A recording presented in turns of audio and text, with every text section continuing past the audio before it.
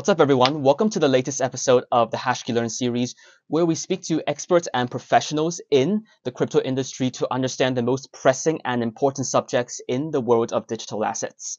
Now, today I'm once again welcomed by my colleague Ben El-Baz, head of ecosystems at HashKey Group, and today we are going to talk about liquid staking. Now, previously we had an episode with our colleague Dora from HashQuark to break down what staking is, but today we are going to talk about another form of staking, which is liquid staking.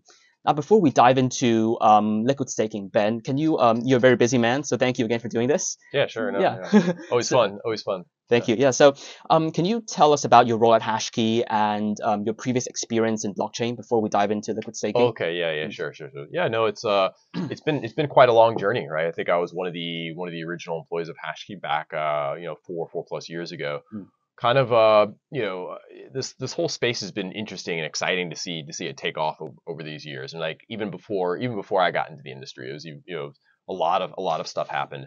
I think my my first foray into the industry really came while while I was studying at Stanford.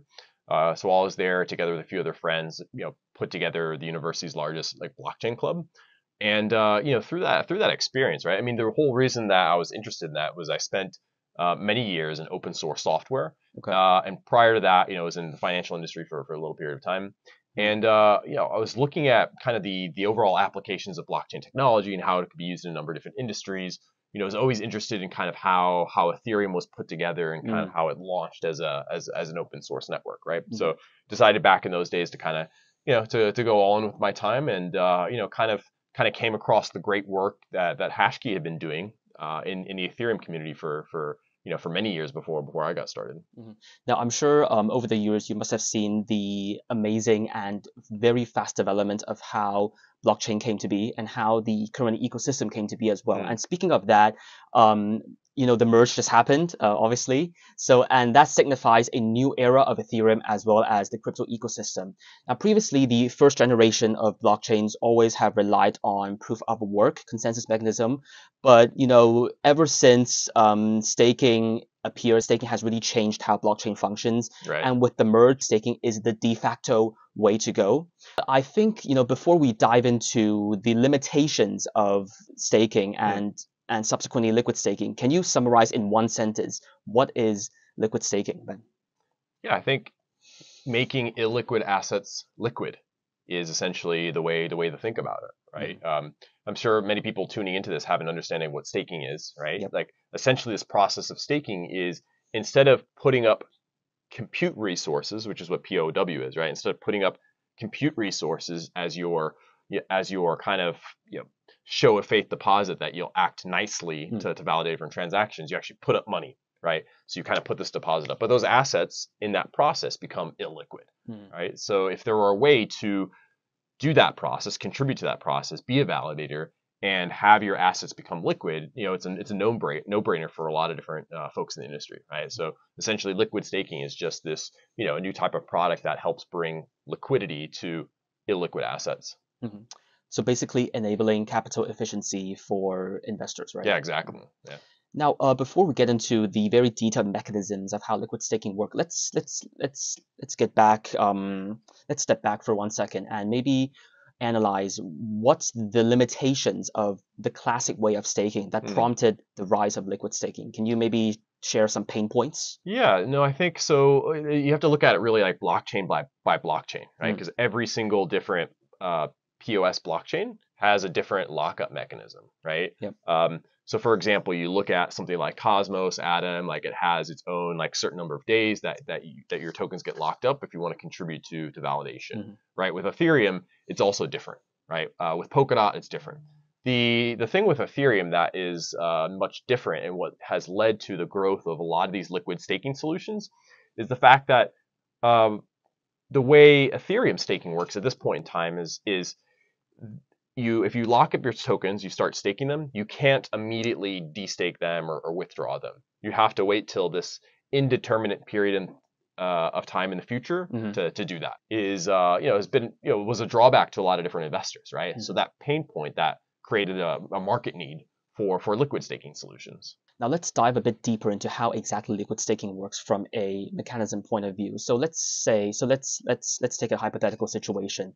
Let's say let, let's use Ether as as the example, because I, I, think that's also the birth of how liquid staking started. Uh, so let's say I have one ETH and I want to participate in liquid staking. How can I go about it with regards to liquid staking? Like, sure. do I like after I stake, what happens next? Yeah, sure, sure. So you know, looking at a few solutions on the market, right? So you have products like STETH, which have been developed by by by Lido, Lido Finance, you know, decentralized community run run by a DAO, uh, you know, decentralized governance. And essentially, you can you, you can take one ETH, you you connect to the smart contract using using your wallet, MetaMask or whatever, and then you just you know submit a you know submit a request to to convert your your ETH mm-hmm. into into one STETH, mm-hmm. right? So that's what happens in the front end, right, to the to the user, right? And you get your your STETH, and then kind of on a, on a periodic basis, you know, the that ETH which has been locked up in that process, it starts to be used by by validators in in the network uh, to generate staking rewards, and then you get that you get the the distributions, your pro rata distribution gets gets sent to your wallet, you know, every every period of time. On the back end, like what's actually happening is is the ether originally was in your was in your wallet, right? You transfer it to to a smart contract, mm-hmm. right? So you could transfer it to the you know, to the Lido smart contract or whatever, you know, prints you back this um, this STETH, and then from there your ETH still gets transferred onto from that smart contract to the the Ethereum blockchain's um, official uh, Ether 2.0 like deposit contract, right, mm-hmm. where it sits there. It sits there until it's ready to be withdrawn, like you know, six or eight months in the in in the future. And then what also happens in that transaction is when your when your ether gets sent to that smart contract and then it gets sent on to the, the official deposit contract, mm. uh, there is like an assignment. There's a kind of metadata that gets sent in that transaction to assign a like a like an independent validator, someone who's running these validator nodes, uh, to to to provide validation services for for that for that ETH. Mm. Um, but for for the for the ether staking process actually needs to happen in in tranches of, of 32 so um, that's led to the kind of the proliferation of some solutions that allow investors who might not have, you know, traders or users, or whoever, might not have 32 ether to do this. Uh, so you know anyone can contribute with with lower lower amounts um, lower amounts of ether to, to do that. So I think there's there's multiple benefits to, to liquid staking. One is like we just talked about, which is capital efficiency, all that all that stuff. Mm-hmm. The other is kind of fractionalization, right? Which is in a in a in a state where the um, like the economics of the blockchain require you to, to lock up a certain amount, but you as just like kind of a normal user don't have that much capital. Uh, you know that can be broken down and you're allowed to kind of participate at a, at a, at a lower lower minimum threshold. Mm-hmm. But no matter what the solution is, right? Whether it's STETH, whether it's you know RETH, um, you know behind this, you know the front end it's the same. You kind of you kind of transfer over Ether, and then you get back kind of a uh, like a mirror asset, a wrapped asset from that and behind the scenes, your ETH gets transferred onto the Ethereum deposit contract, and then there's a, a separate validator node, uh, a separate validator that's assigned to provide the, the validation services. So we can talk a little bit more about kind of validation on that mm-hmm. side or other other yeah. uh, other items. Now, once investors receive STETH or whatever liquid representation of their um, staked ETH is, what are something that they can do with that staked ETH in order to maximize their profit potential? Yeah, I think it really depends on it really depends on the user, right? Some folks just like having the liquidity and you know can mm-hmm. can sell if they want without having to wait for future future withdrawal dates. You know, if you follow the industry over the last six months, you know, there's kind of like you know the the, the curse of liquidity sometimes is what it's referred to, right? Okay. Which is like you know assets like STETH because they you know because they're liquid and they can be used for many different usages. They tended to be kind of uh, piled up and pooled into different you know different lending pools and used for used for further further leverage. Okay. So I mean that you know, some of some of those issues that have happened in the industry are kind of related to you know parties like like Three Arrows and some of these some of these guys that really levered up heavy on that asset. But uh, but nonetheless, right? If you hold this asset similar to any other similar to any other crypto asset, right? You could use it as collateral mm. to, to borrow if you if you need it, right? Responsibly, mm-hmm. right? uh, I think the process of kind of these these leverage loops can can lead to a little bit of uh, a little bit of risk. So you have to have proper risk management. But if uh, you know you're conducting yourself well, that just gives you like a new asset that you can use as, as collateral if, if for some reason you're you're in need of you know some type of you know short-term cash or short-term USDC to, to do something uh, while you continue to stay stay the stay long on the asset because you know we see a lot of uh, you know a lot of our partners um, you know given our history in the in, the Ethereum space are very very optimistic long term on on Ethereum right so they want to be holding the asset uh, and they also want to be participating in the staking process so if you kind of put your assets on there. It's like buying a house, right? You you do that and you put put your assets in there. Yeah. But every you know at some point in the future you might need access to short term short term cash. Mm-hmm. Um, so you can use your assets as collateral to maybe borrow borrow on a short term basis if there's some you know some pressing cash cash need mm-hmm. you have, but you can still stay long on the asset. Now, a recent report by ConsenSys has indicated that as the merge drew closer, more and more institutions, custodians, and organizations have been participating in um, staking. Now, why do you think now is the time that institutions have finally realized, you know, the benefits of staking and have decided to get into sure. um, this? Um, yeah, no, it's industry? a, it's it's a great it's a great question, yeah. right? Um, I think the biggest thing that we've seen over the past the past year or so is you know the solutions that I was just talking about, things like STETH, they've been very very effective at kind of the retail level. But that said, you know, given the way that DeFi works, eh, you know, it's not, you know, it's not a knock on DeFi. It's just the way it is.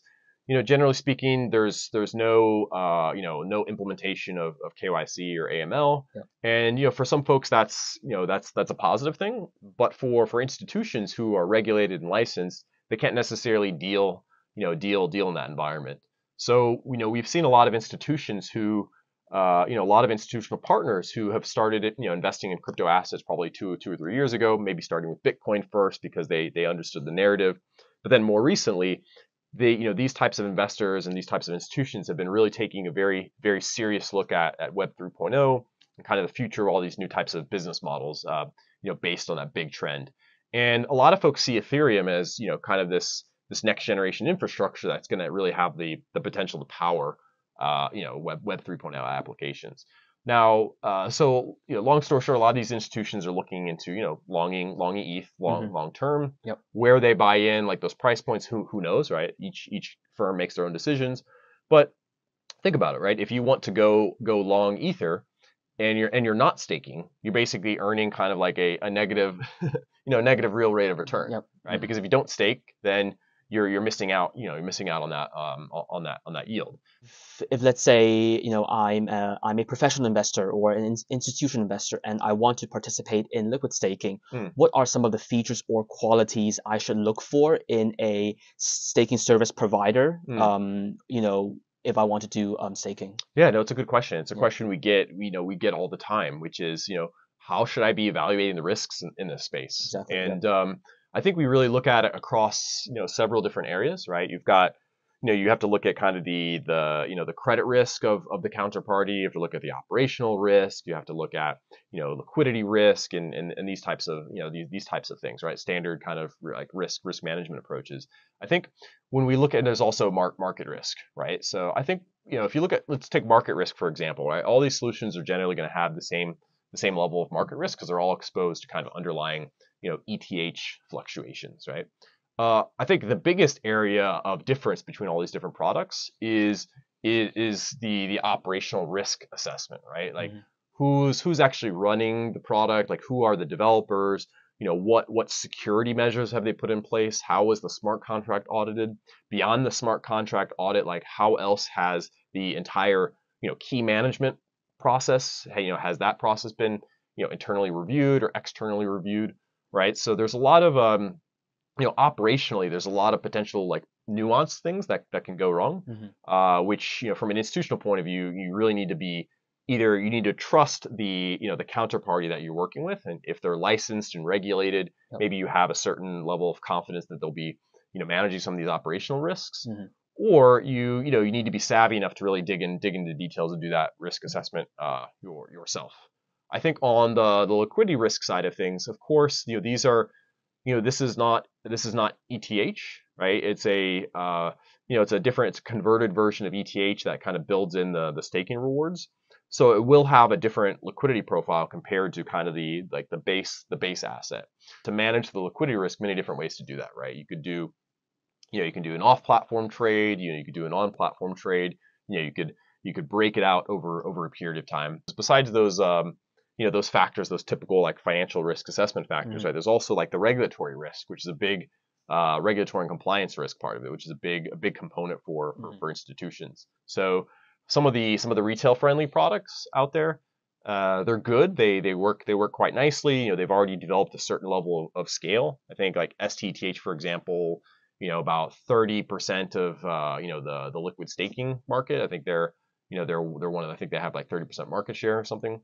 Uh, but you know, honestly, a lot of these big institutions can't you know can't necessarily hold that hold that asset on their books if they if they don't know who they're transacting with, right? So some in some cases there may be ways to um, to to mitigate those risks, but I think you know from a lot of the institutions that we've been dealing with, right, by you know by not really understanding like how the the security process for some of these products are, are designed and like who who has control over the wallets and you know are those people really trusted I think institutions are what we're seeing, right? It might not be true for all like clients and counterparties. Like what we're seeing, what we're seeing is that you know institutions want to basically face uh, one company whose processes, whose internal controls and procedures they you know they they they trust. But you know likewise, right on the other side of the fence, we see a lot of like independently you know wealthy investors who are saying, okay, I'm okay to hold you know uh, you know an asset that's that's that's issued by you know kind of a decentralized DAO and things like that. I think I think it really depends. Really depends on on the user, right?